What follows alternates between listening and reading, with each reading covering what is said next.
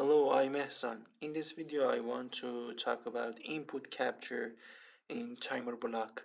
Uh, input capture is the most important uh, peripheral you can uh, use and this is useful for uh, saving a amount of something.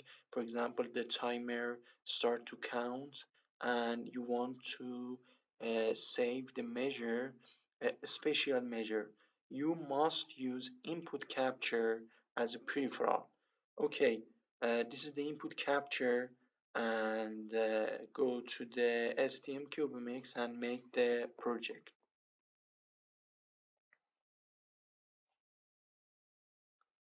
Uh, yes, access to MCU selector.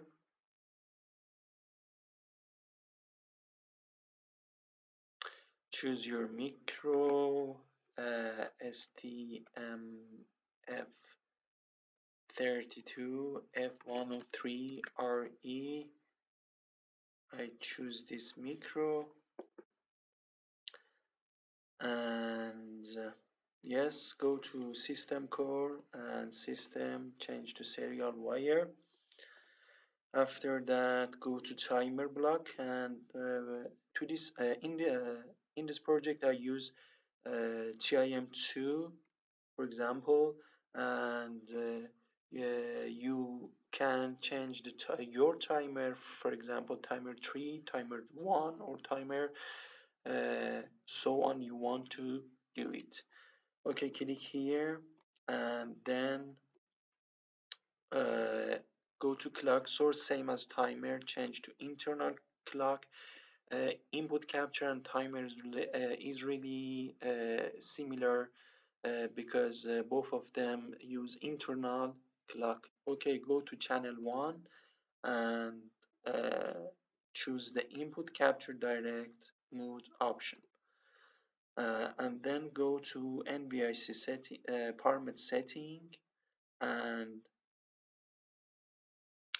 Okay, same as timer, the prescaler is 8000 uh,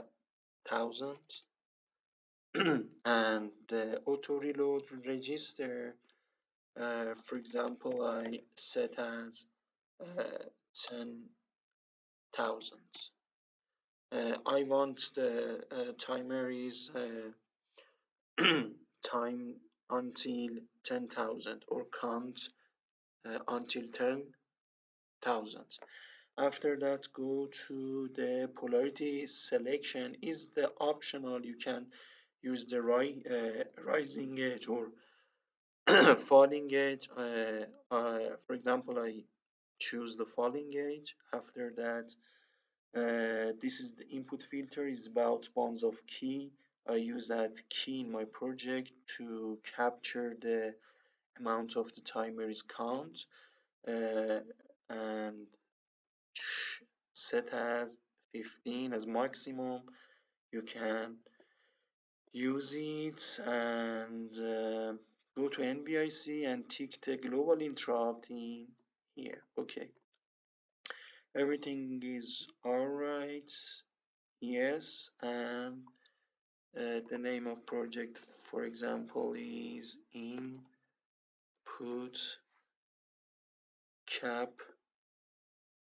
capture input capture and choose the MD arm go to desktop I make a file input capture in here okay. And uh, code is copy only necessary. Library and generate the code.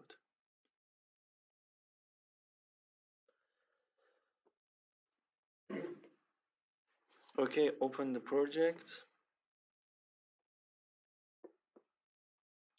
Go to application user main.c and uh, add this code in your project and I explain what happened in the code. Okay at first we have the interrupt routine in here and you can copy and add to uh, this part upper than uh, initialize. This is the uh, interrupt routine and I explained that. After that, uh, use the input capture function and put it in here under the initialize. And in while loop you add true lining here. Okay. Uh -huh. excuse me I need to uh, define it here. Okay it's not important. I uh, for example int cons after that int input capture. Okay I think so.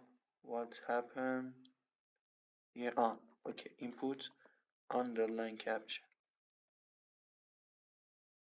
okay everything is all right. Yes. Uh, this is the uh, interrupt uh, routine and IC uh, it means input capture. Uh, this is the callback same as uh, the timer. Base interrupt we have a routine in there and uh, other uh, routine you can use this. And this uh, line I mean uh, 57 uh, it specify uh, which timer you use it. And uh, 59 is that the function is about macro. You can add this part HAL underline tim set counter. Set is you can uh, set uh, you uh, set the this register same as to zero. It means that and the next part is here. I enable uh, routine interrupt of input capture. ICs mean input capture and which timer and which channel uh, as you show in STM Cubemix. After that I define the count and get counter same as the project the counter and uh, save to count and input capture. Uh, this is the uh, macro function and this is the compare. Uh, compare means uh, to uh, compare two of the something. It means save the the number of counts.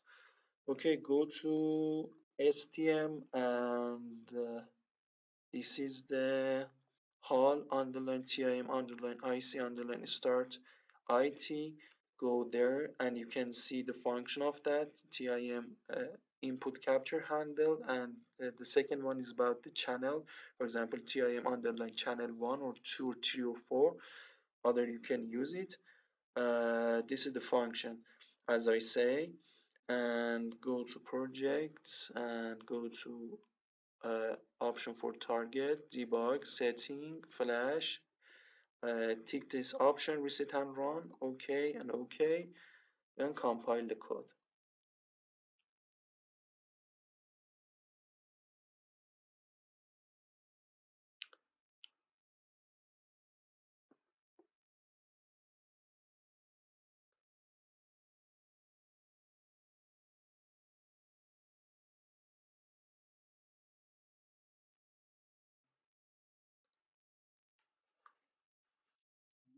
have zero error and zero warning and then load to the board. Uh, after you program your board you need to STM Studio program. You can download in ST website open it. And okay uh, right click in here go to option imports and go to address of project. Uh, for example I uh, save this project uh, in the in my desktop and find it input capture go to input capture mdk input capture and this file import my project. I found the count import and after that found the input capture and then import and close okay this is the change to table. Uh, left click here then right. Go to send to var1 again. Okay. Uh, run the project. Okay this is about to update st-link it's not important. You can see the uh, my count is the counting and uh, input capture. Before I uh, push the press the push button. I want to show my board what happened. Okay this is my board. This is the put push button for uh, input capture uh, the counter. Uh, this is the uh, pull up. And uh, when I push it here uh, this program save the amount of counting input capture. Go to the STM studio okay? Here you can see that the counter is counting until 10,000 and when I push it this is the save the amount of counts. Okay. You can see that? Save. Input capture save the amount or the number of counts as you see. Uh, okay this is about input capture peripheral in timer block. Thanks for uh, watching my video and please subscribe my youtube channel. Goodbye